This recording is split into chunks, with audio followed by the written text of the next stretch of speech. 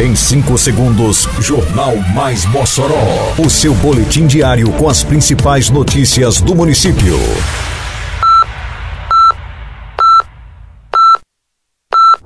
Mais Mossoró! Bom dia, quinta-feira, 2 de novembro de 2023. Está no ar a edição de número 699 do Jornal Mais Mossoró, com a apresentação de Fábio Oliveira. Secretaria de Agricultura dá continuidade à solicitação de outorgas da Zona Rural de Mossoró. Prefeitura promove capacitação em parceria com Senac e Senai dentro do programa Jovem do Futuro. Mossoró tem esquema especial de trânsito neste dia de finados. Detalhes agora no Mais Mossoró. Mais Mossoró!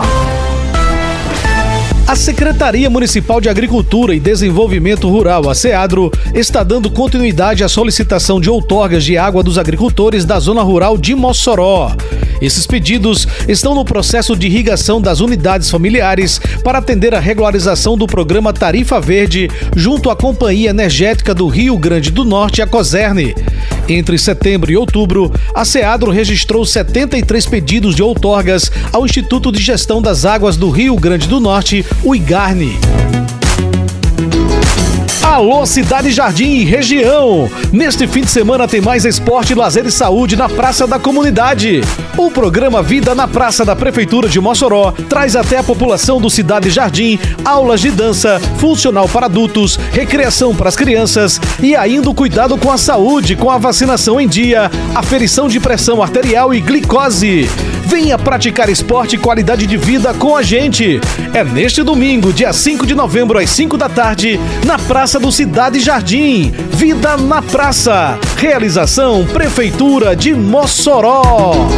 Com o maior investimento da história feito pela Prefeitura, Mossoró vem se transformando na cidade educação. Porque agora tem escolas e creches sendo construídas e reformadas. Agora tem salas sendo climatizadas, mobília e equipamentos novos. Tem material escolar completo, mochila e fardamento para todos. E os professores agora recebem salário 100% em dia e acima do piso nacional. Não dá para negar. Nunca se fez tanto pela educação como agora. E ainda vem muito mais pela frente. Prefeitura de Mossoró. Prefeitura de Mossoró segue com a capacitação de mil alunos que participam do programa Jovem do Futuro, em parceria nessa nova etapa com o Serviço Nacional de Aprendizagem do Comércio, SENAC, e Serviço Nacional de Aprendizagem Industrial, o SENAI. São 19 cursos em atuação e mais 22 a serem iniciados. Dos 19 cursos que estão em andamento, foram formadas 42 turmas no SENAC, com carga horária de 20, 40 e 60 horas. Já no Senai foram montadas apenas duas turmas por razão da carga horária dos cursos serem maiores, com 160 horas. Ei, tá sabendo que agora em Mossoró tem multa para quem jogar lixo no lugar errado? Se viu alguém descartando lixo de forma irregular, é só ligar 153 e denunciar, ou então acessar o Mossoró Digital no site da prefeitura. Uma cidade mais limpa depende de cada um de nós. Faça sua parte e jogue limpo com Mossoró, para não pesar no bolso nem no meio ambiente. Lugar de lixo é no lixo, viu? Juntos por uma Mossoró limpa.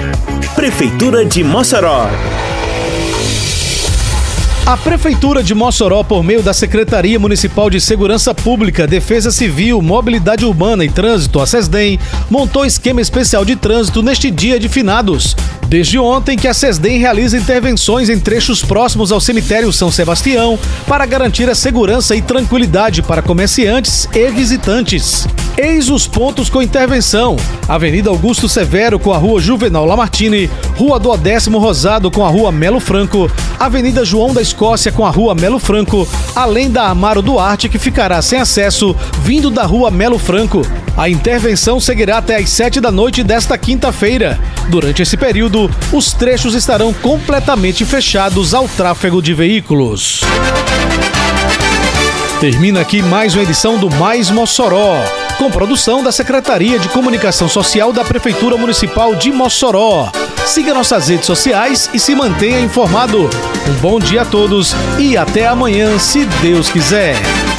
Você ouviu Mais Mossoró!